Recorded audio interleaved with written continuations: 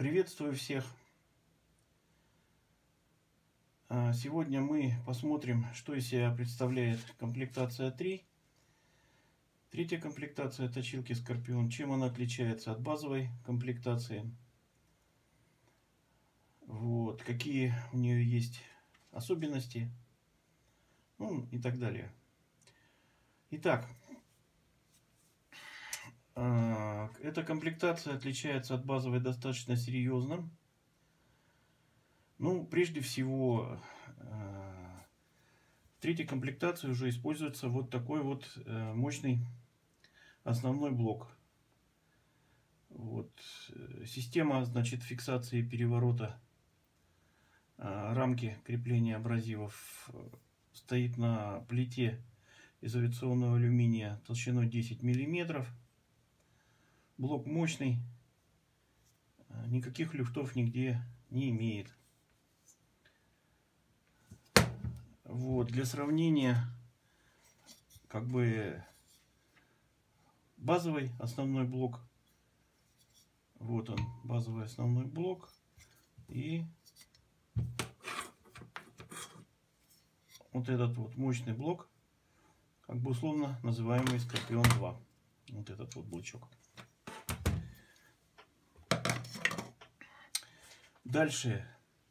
А, значит, зажимы для абразивов, а, за исключением вот этих вот шайб с накаткой, точно такие же, как и в базовой системе. Но здесь а, применяется вот такая вот красивая шайба крепления зажима на рамке. Вот, соответственно, два зажима для абразива. Значит, э, штанга крепления узла скольжения точно такая же. Э, штанга вот это вот крепление абразивов тоже такая же, за, за исключением вот э, этих вот зажимов для абразивов. Чем они отличаются от базовых зажимов? Ну, Прежде всего они отличаются конструктивом. Вот, это более мощные зажимы. Имеется упор. А, для чего он нужен, расскажу чуть попозже. Вот, в данный тип а, зажимов можно зажимать абсолютно любые абразивы. Ну, например, вот э, на бланках под 45 градусов а, так называемые бланки от H Pro. То есть вставляется, закрепляется. Понятно, да? Закрепляется таким образом, как обычно. Эту штуку отпускаем. Сюда вставляем абразив.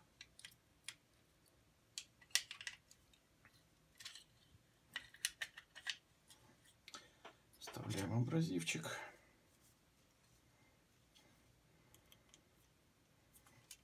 Закрепляем и пользуемся. Вот.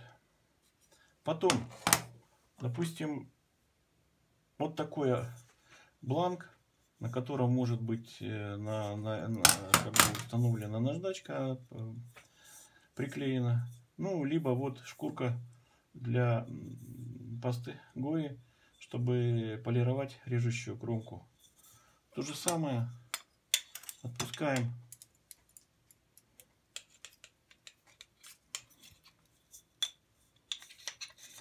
Ставим. Закрепляем. И, соответственно, все прекрасно держится и работает. Потом может быть вот такой вот плоский абразив. Веневские алмазы. То же самое. Здесь спокойно ставится он. Закрепляется. Вот. И спокойно можно работать. Дальше. Для чего нужен вот этот вот упор? Ну, смотрите. Сейчас поставлю.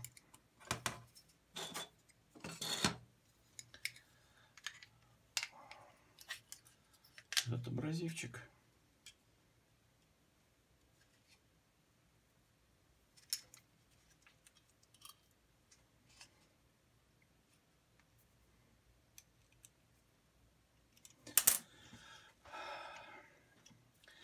Ну вот смотрите, допустим, э, как бы, ну вот здесь не так страшно, но тоже может быть. Допустим, вот у вас есть подложка, вот эта, а на ней абразив более короткий. Ну то есть он не доходит до конца вот этой подложки. И между э, краем вот этого абразива и э, упором есть вот такое расстояние. Что происходит, например, у неопытных точильщиков?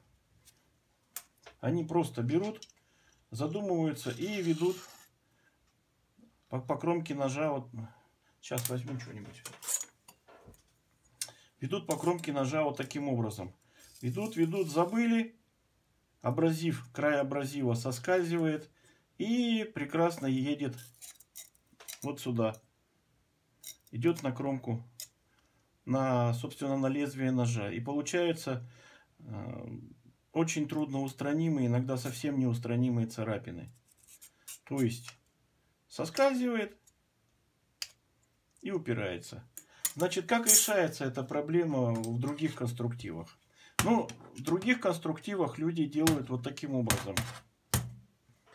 Сейчас покажу.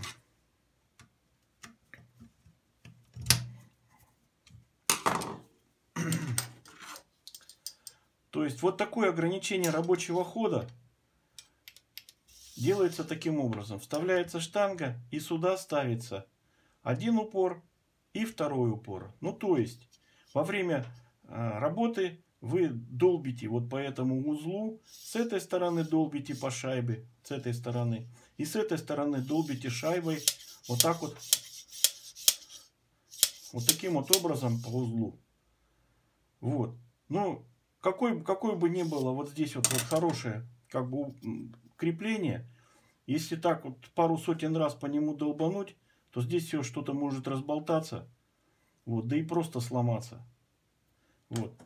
Я от этого всего ушел и решил сделать ограничение не здесь, а вот здесь. Каким образом делается? Да просто очень. Вот эта штука ослабляется, и вот этот упор подвигается вплотную, прямо вплотную к абразиву. Вот. Сейчас покажу. То есть он вот сюда вот выдвигается. Видно, да? И вот сюда идет вплоть до начала абразива. И тогда что происходит? Когда абразив вот здесь вот, вот заканчивается, то просто кромка ножа упирается вот сюда вот мягкий алюминий и не повреждается. И не заскакивает краем абразива вот так вот вот. Вот сюда вот. И ничего не царапается. Вот для этого сделан вот такой вот упор.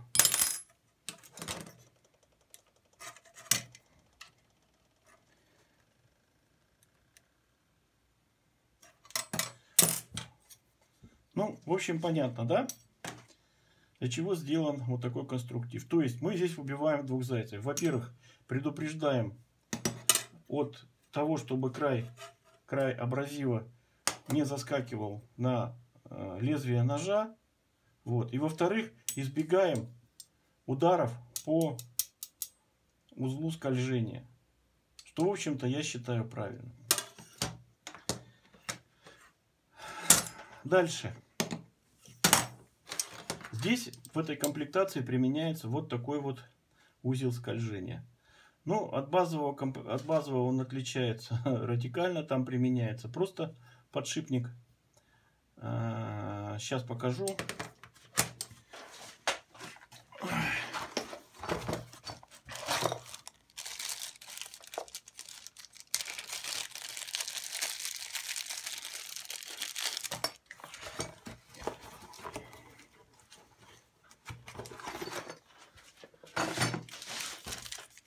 Там применяется вот такой вот подшипник. Такой подшипник используют многие, все не почти все. И, соответственно, что мы здесь получаем? Мы здесь получаем, что трется пара металл, металл. И вот таким вот образом двигается. Ну, понятно, что металл по металлу э, не совсем оптимально. Плюс существуют некоторые ограничения вот, по углам, которые можно использовать в этом подшипнике. Здесь же ни таких ограничений нет. Стоит бронза. И, соответственно, пара скольжения бронза-металл, она практически идеальна. И если смазывать во время работы штангу все время маслом, то ну, очень долго эта пара будет работать. Такие пары, пары скольжения бронза-металл используются на станках, на токарных даже станках и работают долго. Дальше Кроме самого узла, значит, с, э, с угломером, здесь существует вот такой вот так называемый э, узел э, тонкой подводки. Ну, для чего он нужен? Объясню. Значит, э, здесь сейчас вот соберем.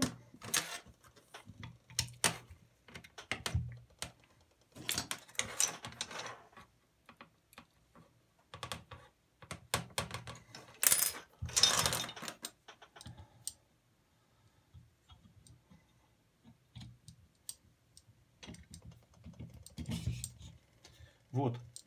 То есть, когда мы начинаем точить, вставляем штангу.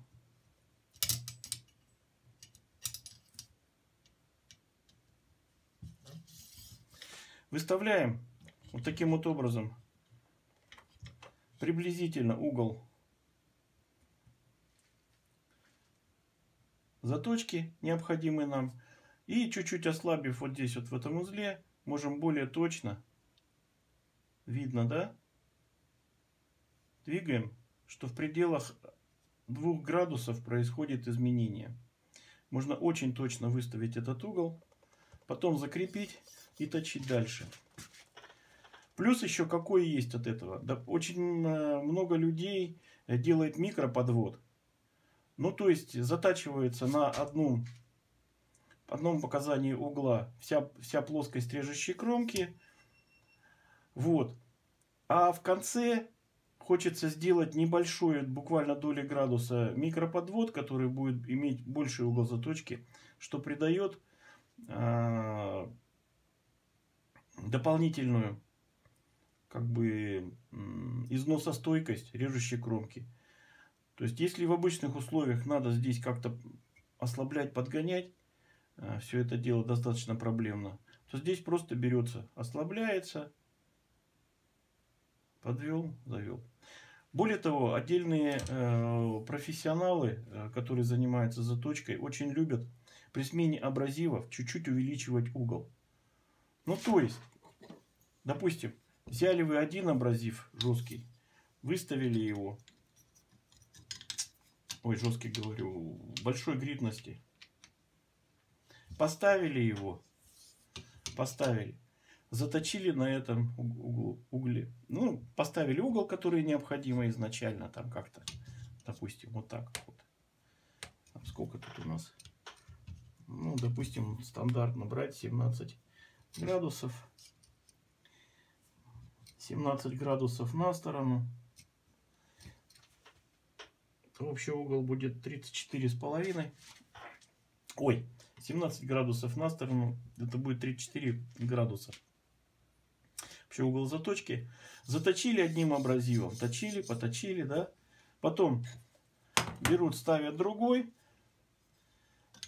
И буквально тут нужно смещение на долю градусов, чтобы всю кромку опять не протачивать абразивом. А чуть-чуть ее как бы сместить, увеличить угол. И таким образом получить большую а, стойкость лезвия. Вот. И как бы получается такая вот лин, немножко линзообразная заточка.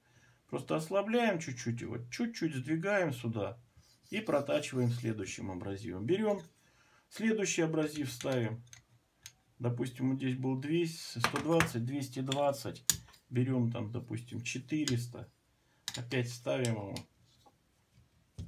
И опять ослабляем.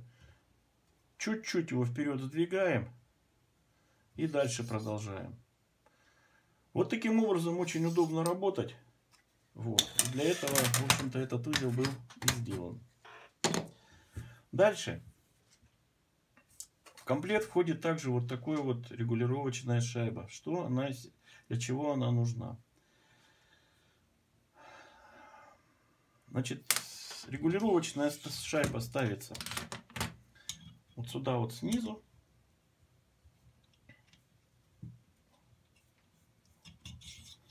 Снизу ставится она, сверху ставится узел скольжения.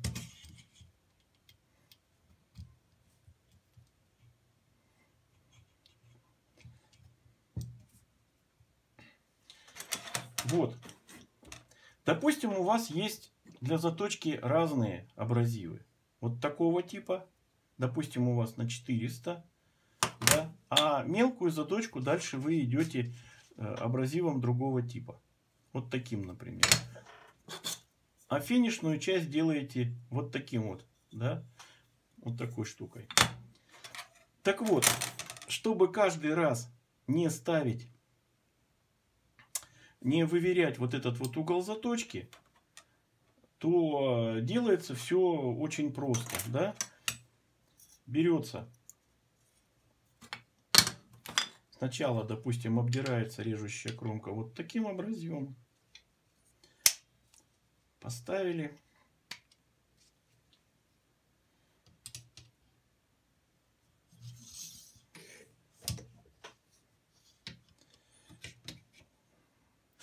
Вот, допустим, выставили угол заточки. Ну, условно. Я потом покажу, как вот эти все крепятся, как нож крепится и так далее. Поставили угол заточки, допустим, ну вот видно, 20 градусов на сторону. Ну, условный угол, условный. Вот. Потом, не, не начиная точить еще, снимаете этот абразив, подводите его вот сюда под низ с этой стороны подводите и поджимаете снизу шайбой. Поднимаете снизу шайбой и закрепляете ее. Все. На весь процесс заточки вы эту шайбу закрепляете. Сейчас закреплю.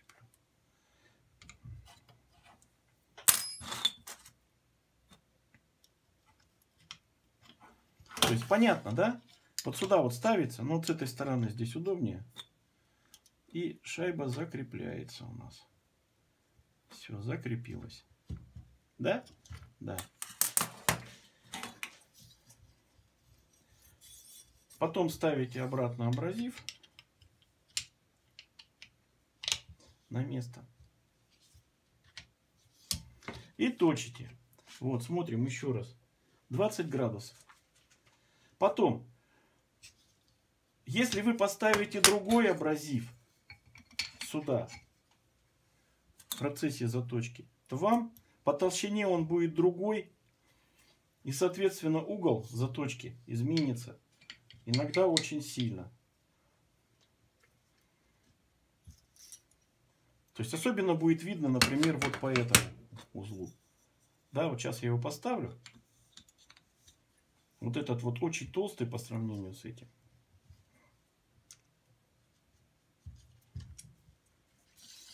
Вот, поставил. И мы смотрим, какой здесь угол получается. Вот. Угол 15 градусов получается. То есть, э, по, по идее, надо опять вот это все ослаблять и выставлять угол 20 градусов. Но чтобы этого не делать, для этого существует вот регулировочная шайба. Тогда вы что делаете? Очень просто. Берете, здесь освобождаете,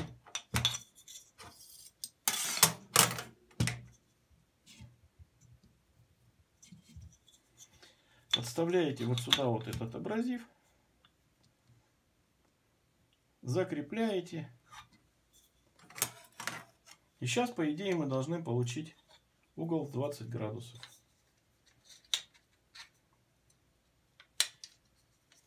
Вставляем. Смотрим.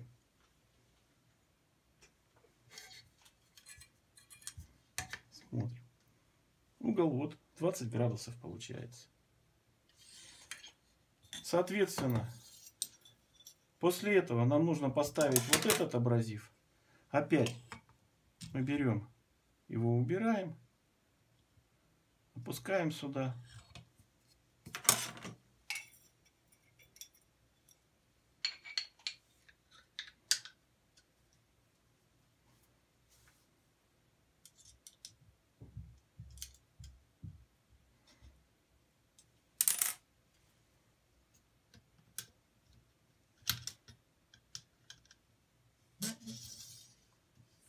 Ставим и видим 20 градусов.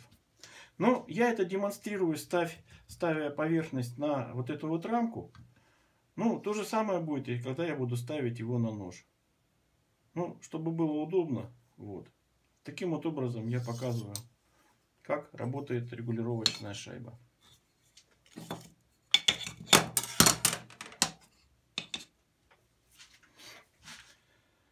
Ну и, собственно, как крепится нож. Очень просто. Берем, ставим. Да, а, регулировка так называемого горизонта проводится вот в таком положении. Когда вот эти вот а, шляпки винтов находятся сверху и регулиру... винт затяжки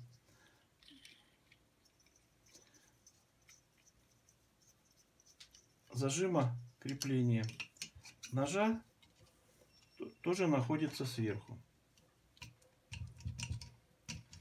Вот.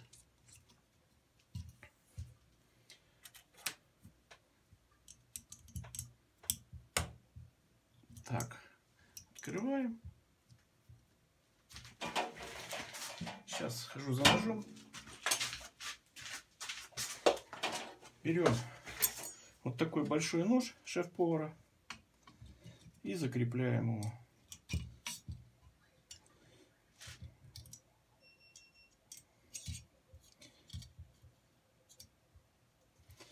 Закрепляем. Как правильно устанавливать нож? Зажим, особенно если нет рекаса, вот здесь вот, а клинообразное лезвие – то это можно посмотреть видео по базовой комплектации точилки. Там все очень подробно описано. Вот, нож закрепили. Берем, ставим на край стола, закрепляем струбциной.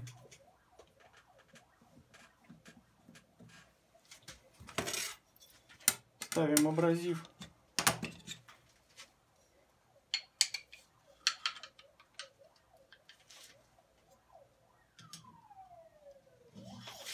И все. И точим. Точим. Наточим, да? Поточили. Взяли другой абразивчик. То же самое поставили. Закрепили. И точ поточили. Теперь Небольшое замечание по поводу... Некоторые изготовители точилок делают так называемую э, парковку. Парковку делают. То есть, когда отводишь вот эту штангу с абразивом, вот сюда вот ставится, она вот так крепится. Ну, для того, чтобы...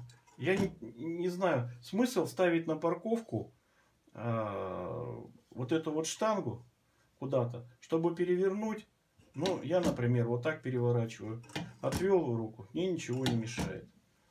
Если нужно э, как бы поменять абразив или помыть, тем более, это не очень удобно. Э, надо помыть, например, поверхность этого э, абразива, что-то смыть, стереть и так далее. То есть, если есть парковка, то что делают? Берут, снимают абразив, ставят на парковку, его как-то моют.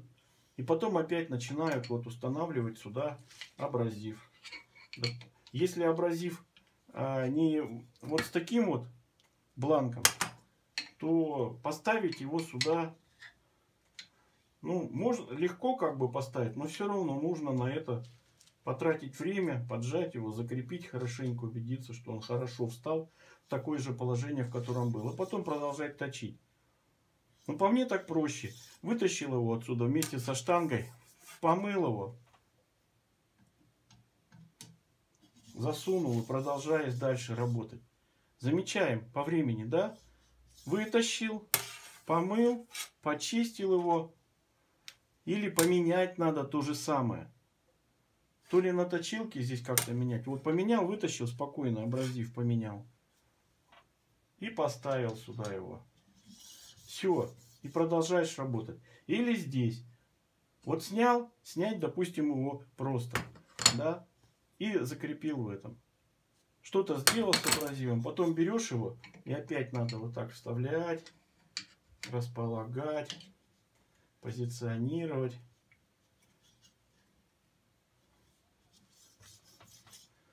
Ну, я решил, что так неудобно. И считаю, что вот эти всякие парковки, они вообще ни к чему. Вот. Вот такой вот обзорчик на комплектацию третью. Вот. Все принципы, из которых я исходил при, при проектировании вот этой всей системы, как бы, все это достаточно хорошо изложено в видео по базовой комплектации. Ссылочку я на, базовую, на обзор базовой комплектации э, ниже видео приложу. Вот, в заключение хочу сказать, что точилка производилась, производится и будет производиться. Если вам хочется приобрести ее, связывайтесь со мной через e-mail. Email вот вам, пожалуйста, на экране. Посмотрите, указан. Вот. А также для связи e-mail будет указан э, ниже под видео. Спасибо, что посмотрели. Всем удачи и хорошего настроения. До свидания.